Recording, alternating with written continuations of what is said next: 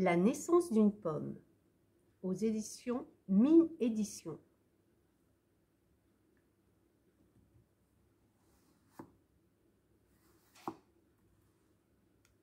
Lorsque le soleil vient réchauffer le ciel à la fin de l'hiver, les oiseaux voient la neige fondre sur les branches.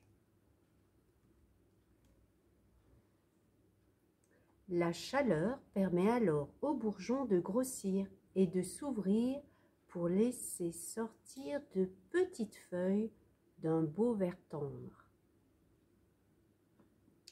D'autres bourgeons éclatent et libèrent des pétales d'un rose délicat. Une belle fleur éclot alors avec majesté.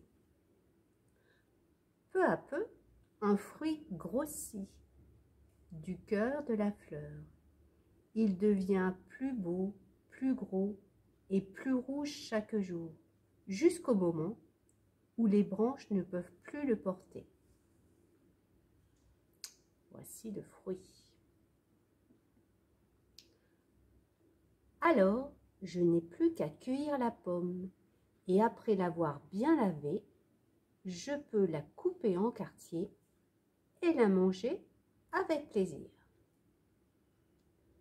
Alors, pourquoi avoir présenté la naissance d'une pomme Pour vous rappeler qu'à la médiathèque, nous avons actuellement une très belle exposition qui vous propose des fruits et légumes qui sont représentés sous forme de photos. Ces photos ont été réalisées par Goel Photo, un club de photos, et aussi les élèves du CP de Maupertuis. Et nous avons bien sûr aussi nos très fidèles élèves de l'atelier des Arts qui ont réalisé de magnifiques œuvres. Nous continuons avec un autre livre. Celui-ci s'appelle Espèce de cornichon.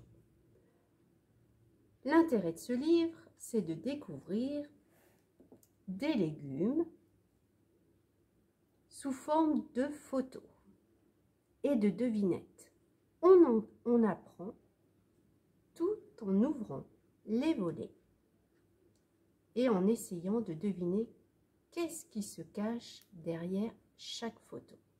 Le maïs, le chou, les artichauts, l'asperge, pardon, vous voyez qu'on peut se tromper, l'aubergine, etc.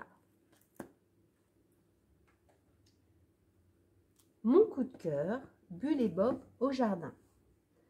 Ces personnages, Bulle et Bob, sont souvent les acteurs d'histoire. Certaines fois, ils vont à la plage, d'autres fois, ils se retrouvent à Noël. L'intérêt, c'est qu'il y a un CD avec de très très belles chansons. Et le texte est juste à la mesure des enfants. Et c'est très très agréable à écouter. Voilà. Vous pouvez retrouver ces livres ou ces livres CD à la médiathèque. À bientôt